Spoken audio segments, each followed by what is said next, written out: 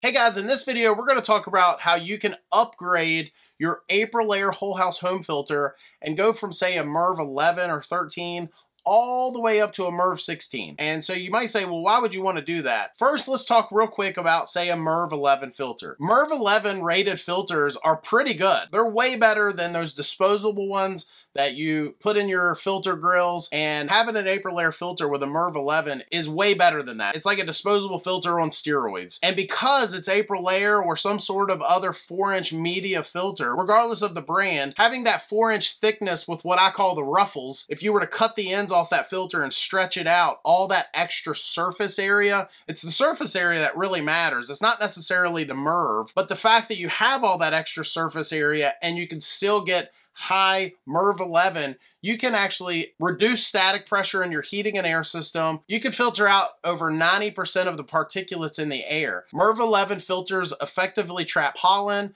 dust, lint, dust mites, mold, smoke, pet dander, smog, auto emissions, bacteria, and so on. So you might be saying, well, why would I even need to upgrade from that? Well, there are a few things that a MERV 11, as tight as it is, as good as it filters, it still doesn't filter out. Some of those things would be viruses. I know viruses are a big thing now, way bigger than they used to be because of a recent pandemic. But unlike, say, a HEPA filter, where they can filter out even more, the static pressure in a lot of cases gets way too high with a HEPA filter. And so with a MERV 16 filter, you can filter out over 95% of the particles, including some viruses. I'm not mentioning any names. I'm not making any claims. I haven't done any laboratory tests. So if you're watching this, you're saying, well, I'm going to do what you told me to, Josh, because I'm going to definitely filter out the coronavirus from my home.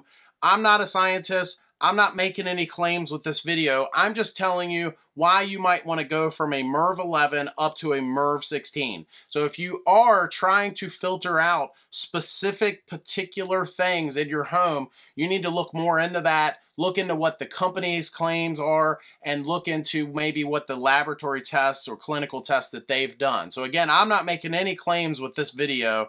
Don't be suing me. You ain't gonna get much anyway. That said, Aprilaire in particular, they didn't pay me to do this video. I wish they would, but they haven't. But one thing that we have dealt with here recently, we install a lot of Aprilaire filters with our furnaces, and I think they're great. They do a lot of things in addition to keeping the air clean, but they also keep the system clean, more functional, and reduce static pressure in comparison to a lot of other filters on the market. But the reason for this video is, for the first time here recently, Aprilaire has made it way easier. You don't have to replace the entire housing or get some fancy filter. All you have to do is when you go to replace the media in your filter, so if you have an Aprilaire 1210, 1620, 2210, 2216, 3210, or 4200, which are all pretty common models. So instead of replacing the media with either a 210 or 213, you can now replace it with a 216. I'm to put a link down in the description